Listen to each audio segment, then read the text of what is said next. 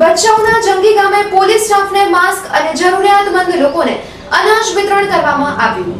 ભચાઉ તાલુકાના જંગી ગામે જમાલભાઈ મામદભાઈ રાયમા દ્વારા જે એમ બ્લોકના લોગોવાળા એક હજાર જેટલા માસ્ક જંગી ગામમાં તથા સામખિયાળી પોલીસ સ્ટાફને વિતરણ કરવામાં આવ્યા.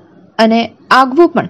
પીએમ ફંડમાં રૂપિયા પાંચ હજારનો ચેક સરપંચ શ્રી રણછોડભાઈ કાનાભાઈ પટેલને અર્પણ કરવામાં આવ્યો હતો. તેમજ જરૂરિયાતમંદોને ત્રીસ જેટલી રાશન કીટનું વિતરણ પણ કરાયું હતું. જંગી ગામના સરપંચ રણછોડભાઈ કાનાભાઈ પટેલે સહકાર આપ્યો હતો.